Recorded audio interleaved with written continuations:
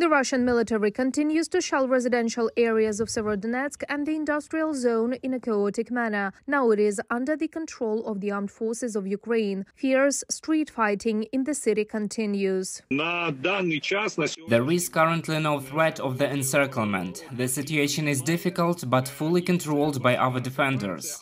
All the plans of Russia have been crushed by our defenders. The well-known thesis of three-four days to capture Kiev has come down to the fact that they have not been able to capture Severodonetsk for more than four months. The day before, it was possible to evacuate 40 people from the Luhansk region. The majority were from Lysychansk. Humanitarian aid was also delivered to the Ukrainian-controlled territories. In the Donetsk region, the enemy suffered significant losses near the village of Berestove in the Bakhmut district. The General Staff of the Armed Forces of Ukraine says that Russian troops are now actively preparing for the assault on Slovyansk. На Слов'янському напрямку in the Slovyansk direction, the Ukrainian military is successfully disrupting the enemy's attempts to improve the tactical positions towards the city of Slovyansk.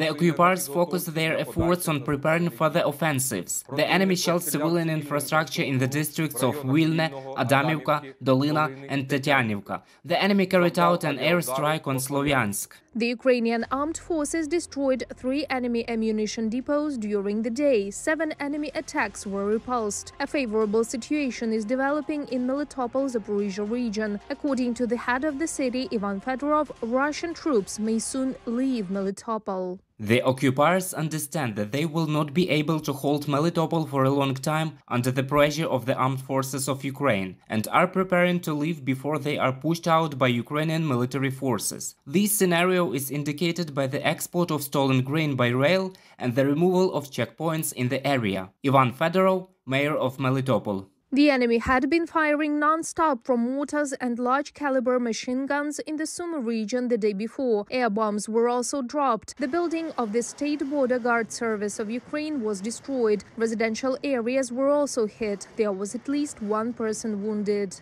A Russian missile also hit the center of Kharkiv. A fire broke out. Rescuers arrived to the site. No casualties have been reported. The village of Pisochin in the Kharkiv region was also shelled. The threat of missile strikes is currently growing, the Ministry of Defense of Ukraine said. The threat of missile attacks from temporarily occupied Crimea is growing. The occupiers deployed the Iskander M missile division 8 kilometers from the administrative border with the Kherson region. Alexander Motuzianik, spokesperson of the Ministry of Defense of Ukraine.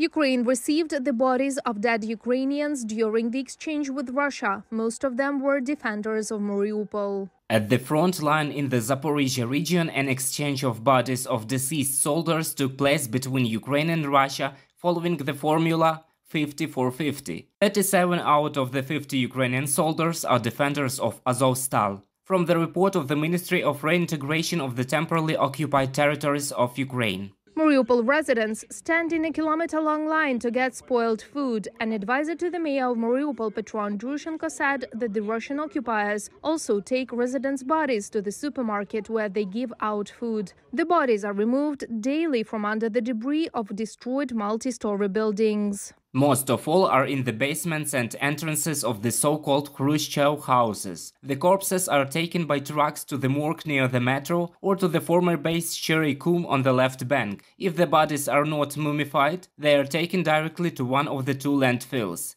An endless caravan of death.